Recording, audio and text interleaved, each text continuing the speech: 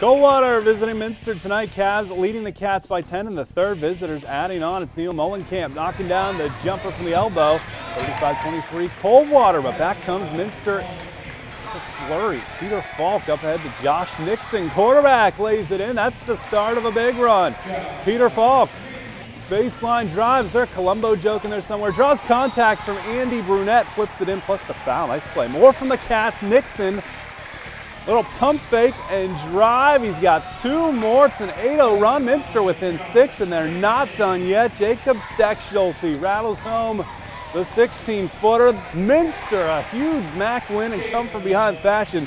53-50. Aaron Ernst leads the way with 17 points. 15 points, 11 boards for Andy Brunette.